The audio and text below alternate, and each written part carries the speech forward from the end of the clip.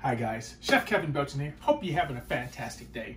Now, you know, one of the things that was always on the table growing up when I was a kid was rice. Doesn't matter what was served for dinner, mom always had a pot of rice on the stove. So that meant there was a lot of rice left over. Now, grandmother used to make rice pudding, and there's all different things you can do with rice, okay, leftover rice. One of the things they used to make was cala. Think of a fried beignet, but think of it done with rice. Well, today I'm gonna do a spicy shrimp fried rice for you, okay? Now, I have my shrimp already peeled. What I have here for seasoning, I have smoked paprika. I have a little chili powder, garlic powder, salt, a little bit of our Creole seasoning, and white pepper. Now I'm just gonna give this a little shake, toss this onto our shrimp, and we'll give that a, a nice little stir, okay? Just to get our shrimp coated. Now, I've had my pan on, and I'm gonna turn it back up. I had it warming. Now I've turned it up on high, okay? Because that's one of the things about wok cooking, it usually goes fairly quick. And you know, and if you don't have a wok, you can always do this in a non-stick skillet, or if you want a, a cast iron skillet if you like. So our hot wok, our wok is hot. Little sesame oil. Now, if you love sesame seeds, the sesame oil has a great flavor. And one of the things about sesame oil, you don't need a lot of it. So I'm just gonna use about a tablespoonful. Get it around in there. And into that, I'm gonna throw in some onion. And I have a little green onion, but notice I have the bottoms, okay? I'm using the bottoms, the white parts, with a little red pepper flake. Now I'm gonna get this started right quick.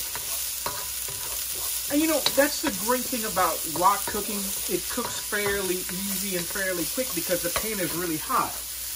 Um, this wok I'm using is made for an electric stove. You know, the woks have this shape because the gas can come up all around the sides of the pan and get it really, really hot, okay? That's why wok has that shape that it does. Now, here, let's go ahead and get our shrimp in.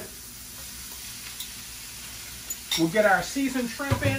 And that's the thing about shrimp, gang. Shrimp don't take very long to cook.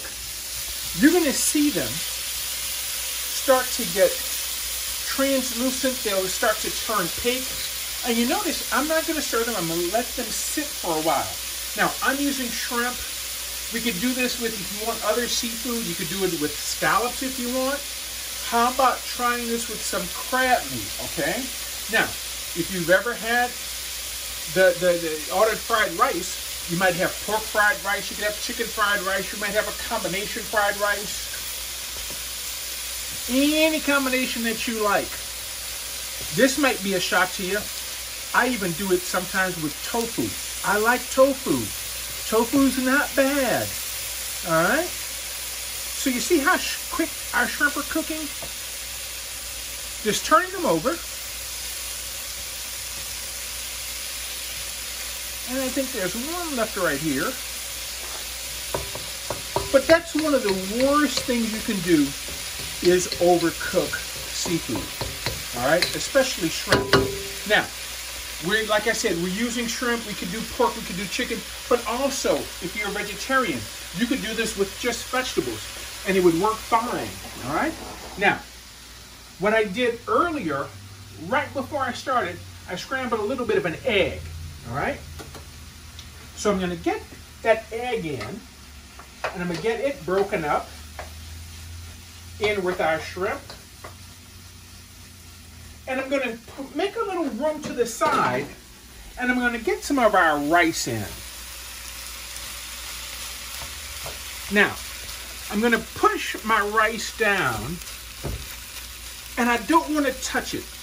I'm going to try not to touch it for a couple of minutes I, I, it, it's you know it's not going to last that long. I'm not going to be able to not touch this for a couple of minutes. But the whole idea about not touching the rice is sometimes you want that rice to have a little crunchiness, okay?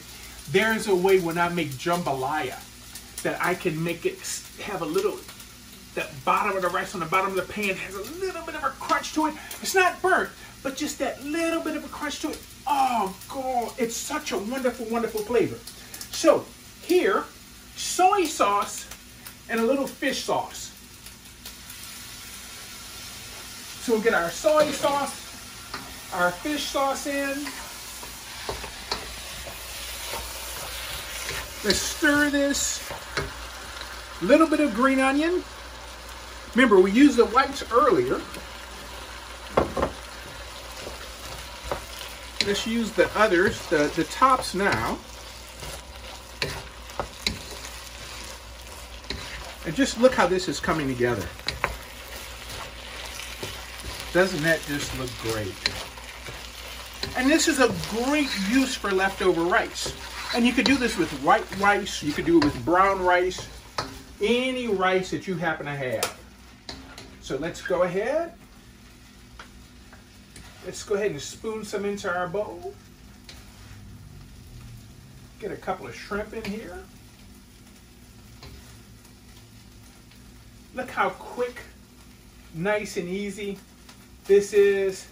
Oh, let's get a little bit of that egg on there. Now, move this off the fire. Garnish this with a little more green onion, just to top it off with a little green onion.